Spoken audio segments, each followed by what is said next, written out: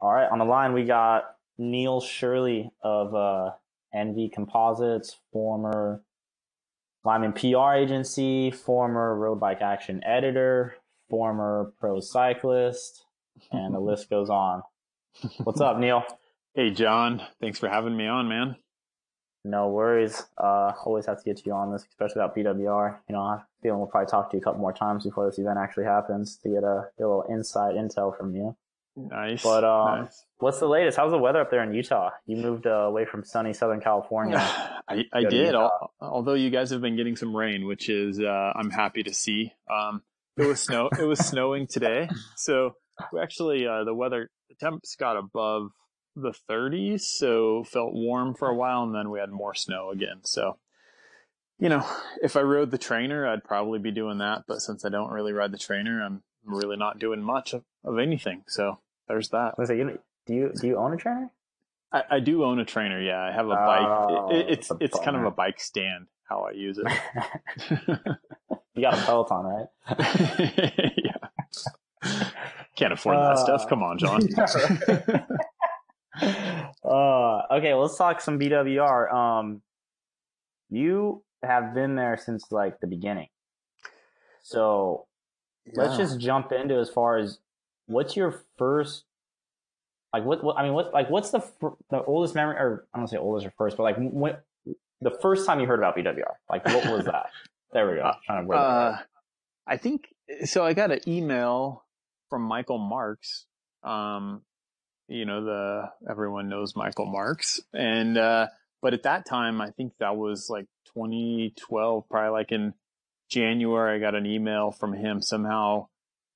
My email ended up on his list, probably because I was at Road Bike Action at the time, and but you know, just talking about some crazy event that was you know 130ish miles long and a bunch of dirt but i didn't i had no idea what to really expect. And i was like oh okay. I was kind of like just a couple years out of post you know post pro racing and still like kind of looking still motivated to keep riding hard and and doing new things and i was like oh that sounds interesting so I went out and I did, and it was just kind of like that invite only first year. I think there were like 130 people or something like that, and truly just no idea what I was getting myself into that first year. And I think all of us were were in that same boat, except for like Michael, who you know, yeah, he I knew- he, he knew it all along. dreamed dreamed this up, and you know, I think it was he loved seeing the reaction from everyone. But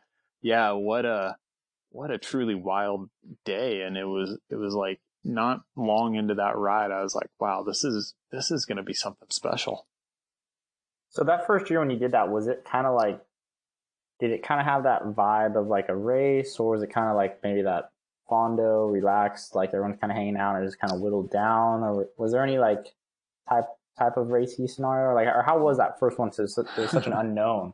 yeah no it, it was very much like you know It's almost It like had that- it was it was like an underground race like it had you know we were ripping down the bike path at like speeds that we had no business riding on the bike path on and um it, it was very much like that that kind of throwdown vibe.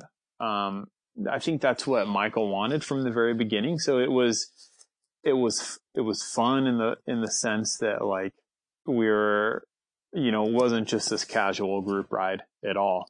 And then you know we're veering onto these sections that we had no business being on our 25c tires and drop bar bikes. But like we're like okay cool. It says go this way. We're going this way.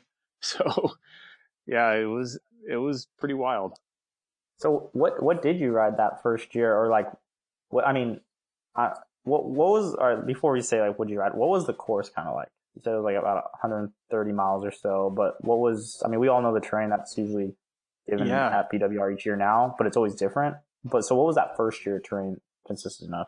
I would I would say it was a pretty good mix of essentially what we have now. Like you know, there wasn't you know Black Black Canyon that wasn't in there, but the Lake Hodges stuff was in there.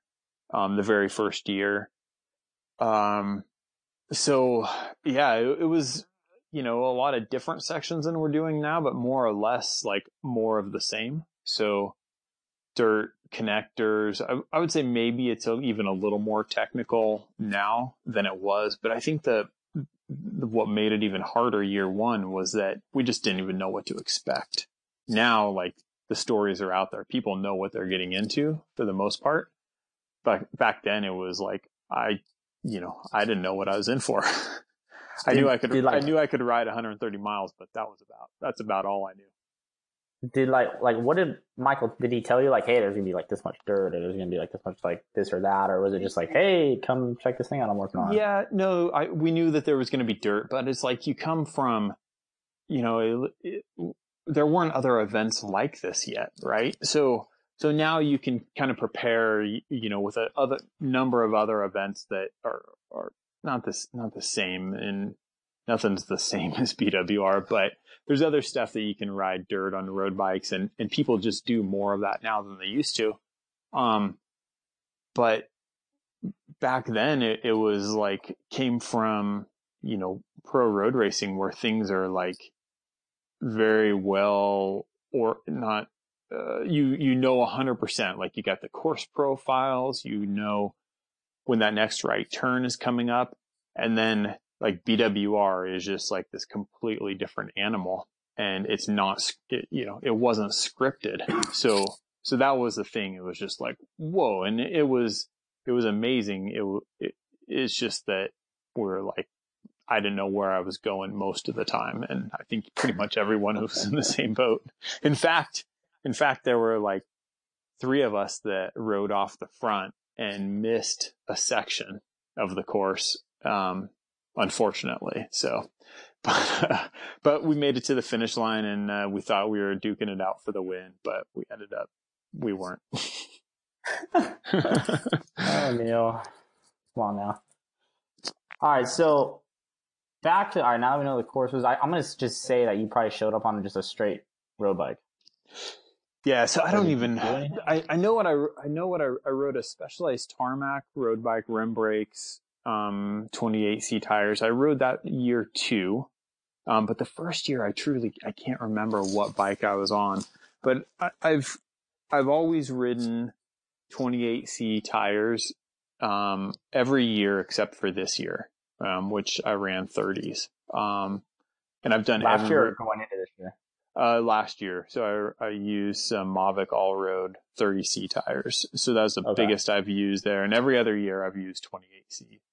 Um, yeah. So, and you know, I've done every, I've done every edition of BWR so far. Is there a reason why you just want to stick to the, the smaller tires or, I mean, what do you, what are you going to run this year? Um, I'll run, I'll probably run 32C, the IRC Serac tires. Um, I mm-hmm. used those at the BWR survival camp in January and it's just, it's a, it's a really great tire, you know, on either the ENVE G23 rims or the 4.5 ARs, depending on how fast I'm feeling that day. Um, will depend on my setup.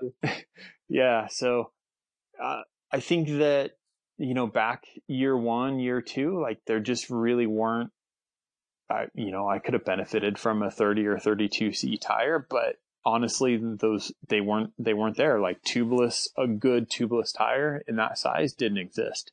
So I was running um, like Continental Grand Prix four seasons. So like kind of a really robust training tire, durable training tire. But that was just, I needed the durability and I had, I ran tubes in it. So I ran like way too much tire pressure. I probably ran like 85 PSI and 28C tires, which is just, you know, yeah, you're roadie. You, you get abused out there. Total roadie total roadie. Um, Standard.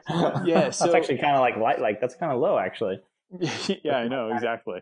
It was only double. It was below triple digits, so yeah. it's low.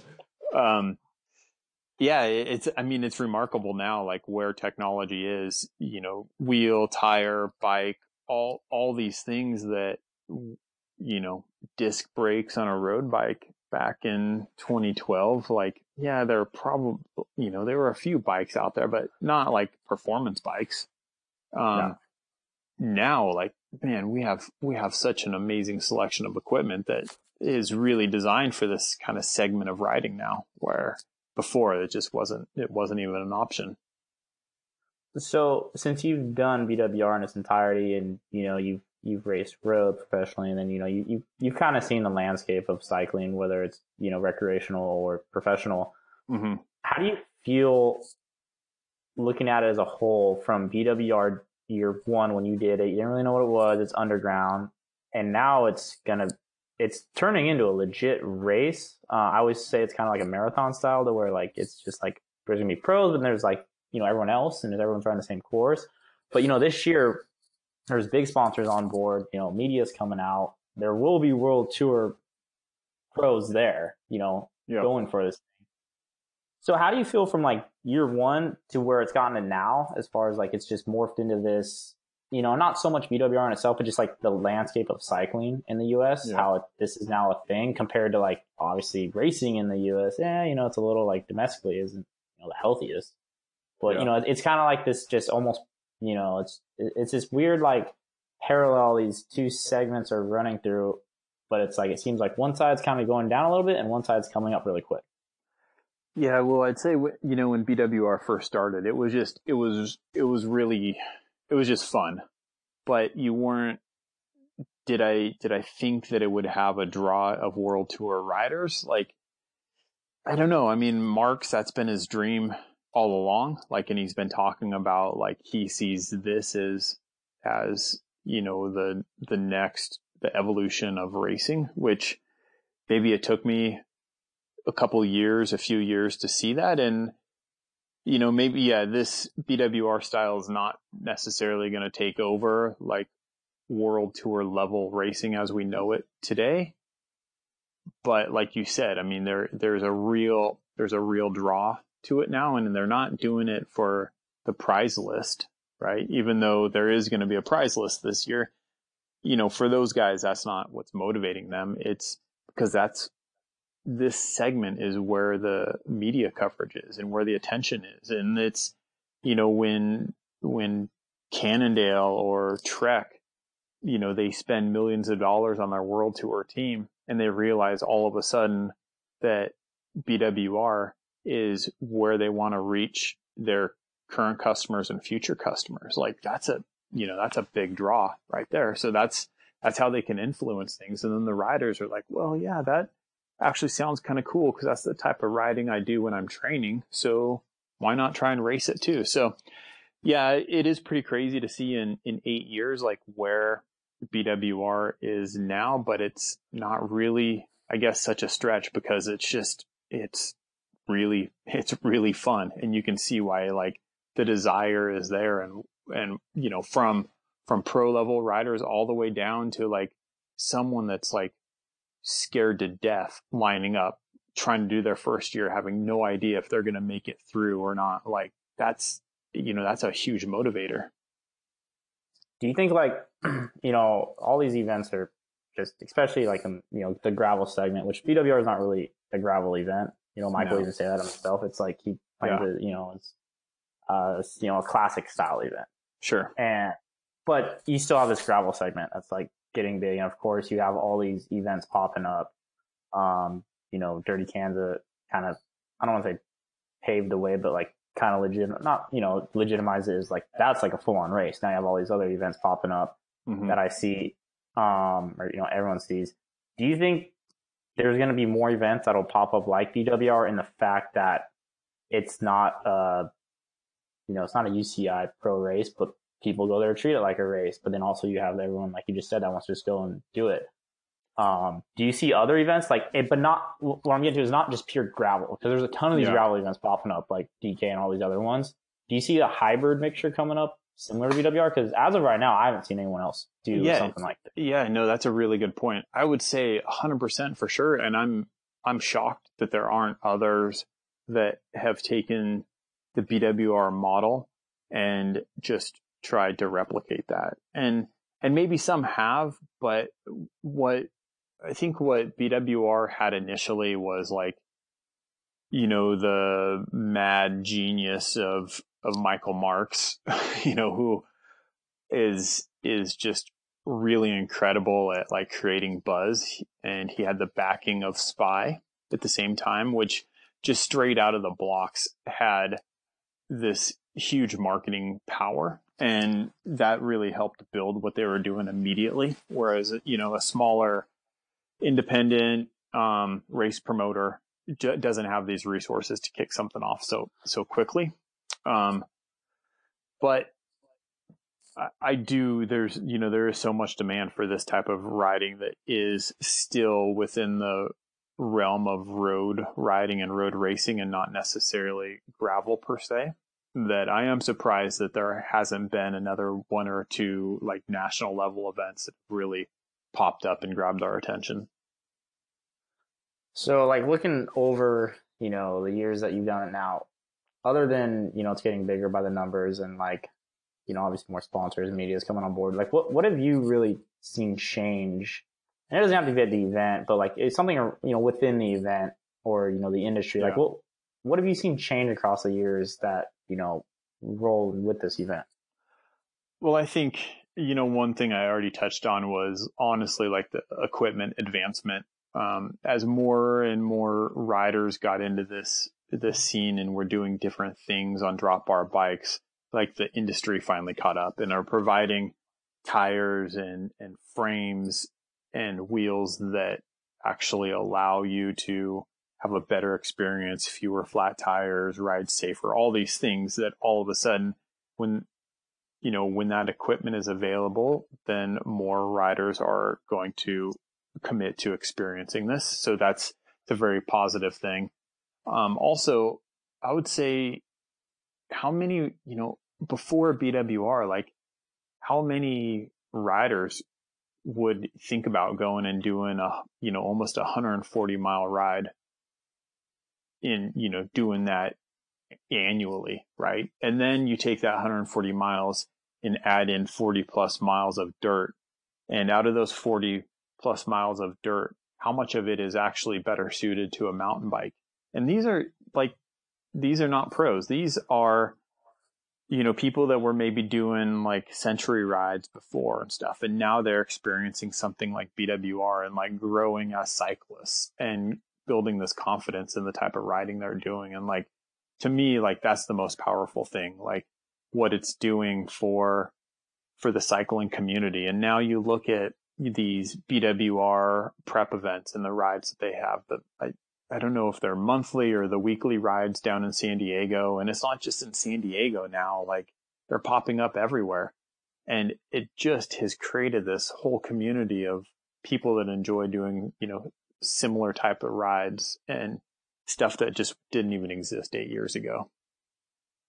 One thing I've always been curious on on this style of event and these different types of events is like I, I, don't really think you can pinpoint it down to one certain thing, but it, it's always there. Like you've you've done the road racing thing, you know, um, you've done all the, the big races, and you know just like how serious that atmosphere is. yeah. Whether that's during post, pre, you know, there's not a lot of fun going on. I mean, yeah, you know, depends, but like, you know, it's like super serious, right? Yep. But then you go to these, these other events and then, you know, we'll talk about BWR, like it's a hard ride. You're out there all day. You obviously have to train for these things. The legit guys are showing up, but you do not get that like super serious vibe ever.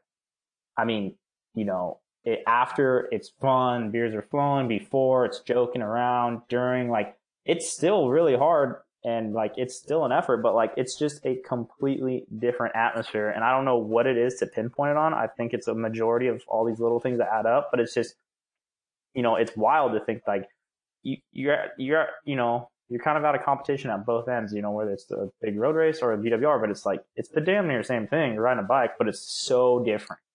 Yeah. And I mean, obviously that's what's doing really well for all these other events, but like, I just, I don't know, like, what are your thoughts? Like, what's, what is it that just makes it so different? Yeah, I think it's the, you know, these, you can take pro level riders and you put them in this environment in pro road racing, you know that you have to be 100% serious. And like, if you have a bad performance on the day, it's, that day is a failure right? There's no other way around it because you're 100% judged on your performance. At these events, like you can still take it a you know as seriously as you want. You can go in and want to win and have all these goals and train hard for it. But I would say for just about everyone out there, even if they have a bad day, like it's the environment that allows them to be like, well, that's a bummer, but guess what? I still had a blast out there. And like, I don't think there are many people that that make it to the finish line at BWR. Hopefully there's no one that makes it to the finish line at BWR and is like, "Oh man, that was a bummer of a day." I mean, you can have, you know, both of us, like we know we've had terrible days out there, right, Jon? Where like uh, you don't yeah, even know it. You don't even know if you're going to be able to like, you know, you might be walking up double peak at the end. You know, that's, that's fine. Eh, you know, but just knowing that you're going to get to the end, you're going to cross that line and then like the relief, it'll be over. You'll have achieved and accomplished it. And then you get to crack open a Lost Abbey beer and eat some, you know, food from Sam Ames and like start telling stories with your buddies out there and like to know that everyone's in that same boat and regardless if it was like a personal best or you won or you're, you know, coming in at, you know, when it was after dark, like that doesn't, it doesn't matter. And like that's, that's really the vibe that is, that is special with BWR. I'm pretty sure I, 99% sure it was you. It was, I don't know, if, I don't think it was last year, maybe the year before. And it was like, hopefully I'm not getting this mixed up with like, no, I don't think it was DJ, but like I saw you after, like right after, and you were like, don't talk to me. I'll be right back. Or like, just did like, you were in a zone that was not, not a good spot. Yeah. To where I was like, I need a moment. yeah, I think that I saw you later think... and you had a beer and it's like all good, but you were there and I was like, oh, I need to go take a break and be by myself. Yeah, I needed some quiet time after the 2017 BWR. And that's, and you know, that's like, I, I don't know. Like, I mean, I've had like, you know, I've won, I've won BWR twice and that's really special to me. And then I, the funny thing is like those times, like those were like some of the easiest rides I've had out there because you know I was fit, everything worked out really well, and then the but the days that I really remember the ones where like you you have to dig deep just to make it through the day, and those are the ones like man it it it hurts, but those are the those are the memorable ones, and like and not a bad memory. It's just like it it I just look at it as like hey building character and like that's the experience that 90% of the people are having out there. They're digging deep, making it through the, to the end and like true dedication, overcoming, overcoming barriers like cramps and multiple flat tires and just all these things with just that drive to make it across the line.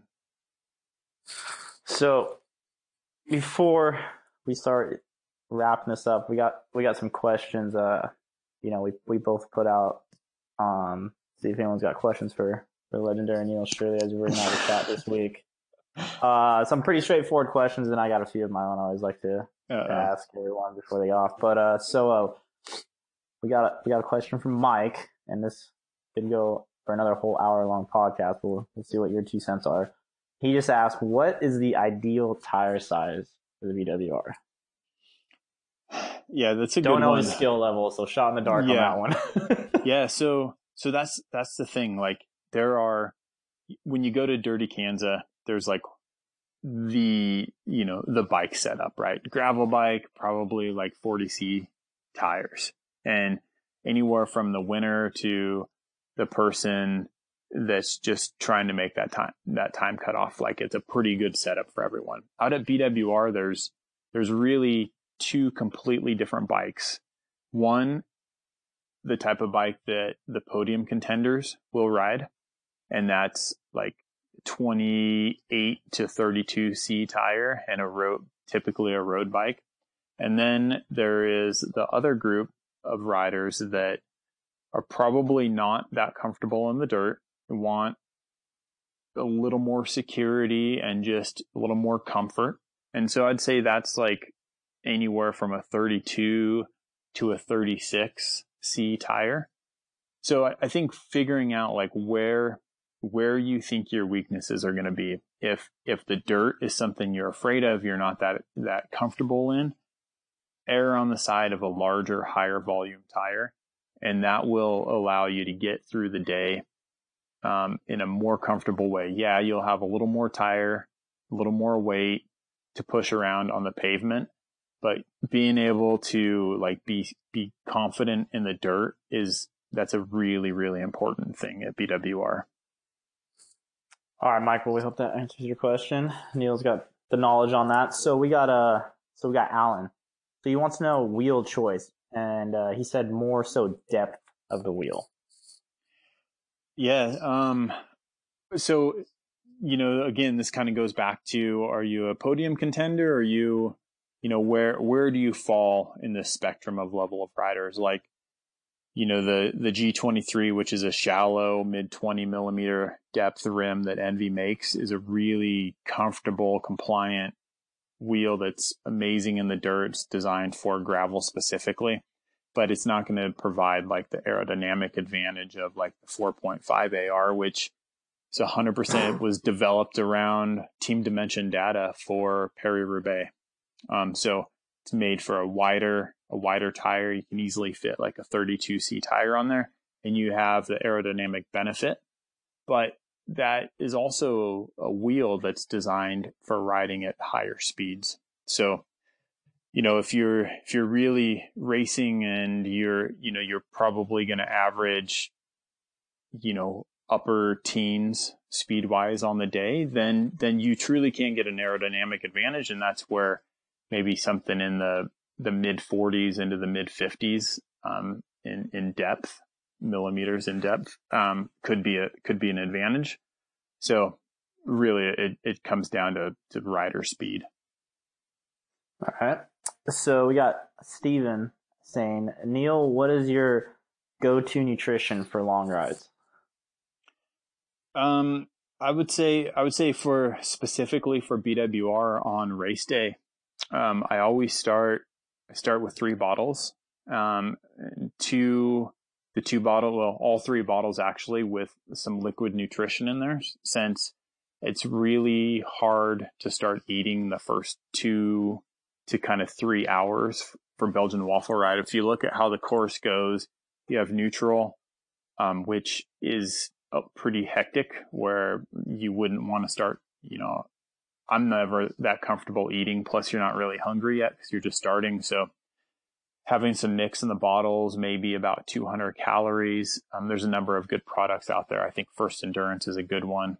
Um, GQ6 as well, good product. Clif, There's there's a lot of good options out there. But anyway, so you can easily just you can be drinking and not have to be trying to eat a bar because you go neutral into Lemontwistenberg, into the Lake Hodges section, into Highland Climb. So basically, you're probably about 40 miles into BWR before the course ever lets up to where you can rest and really be able to take in some calories, some solid calories.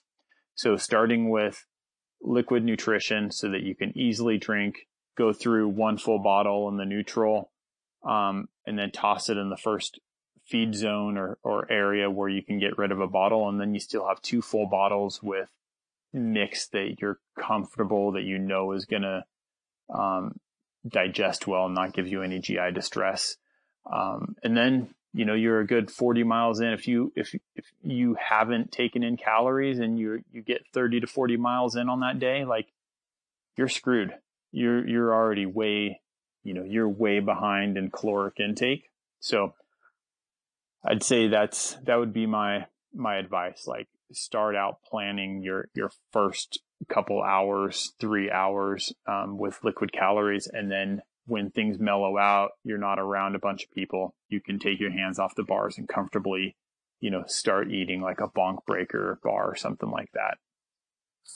Yeah, uh, and something to add to that too, because that is so crucial with like those first 40 miles that if you're doing the liquid nutrition route, which is, you know, pretty spot on, um, make sure your bottle cages hold your bottle over rough terrain because it's just like you see bottles flying everywhere. And if you're, if you're like, okay, well, I'm going to do liquid nutrition, then obviously that, there goes that idea, but then you just can't eat because yeah, it's pretty hectic those first 40 miles and it's rough and and you're just you're just gonna be you're gonna be done. So that's simple, easy, but make sure you have some really strong cages. Yeah, that's a good point. I mean, water bottle cages have one job, And if it doesn't do that, you had get one job, one job, one job only. And if it cannot hold your bottles, if you've ever lost a bottle from your cages, take them off and replace them.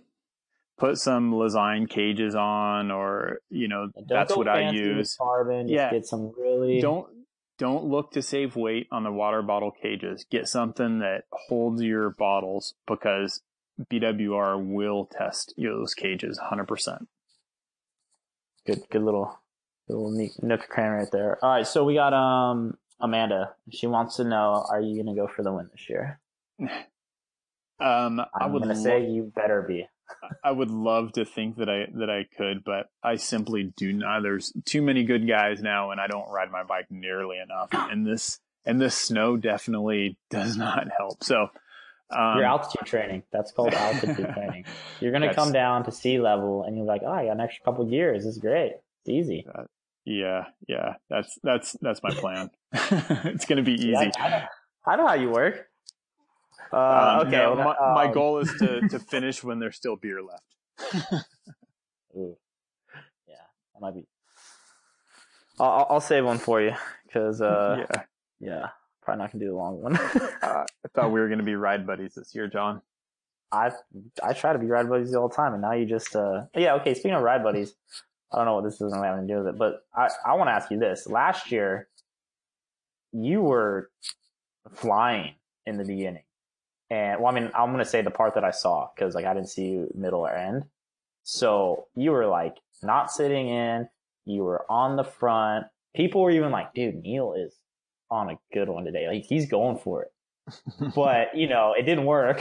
like the shoot, the you know, I know the wheels kind of came undone, and but like, were you just how confident were you? Like you're on the front, pulling everyone up every climb. That first, you know, 40 miles we are just talking about. Like we were going yeah. in the dirt in the beginning, in the lead, and I, I really, I'm like, oh, Neil's been training, he's on it.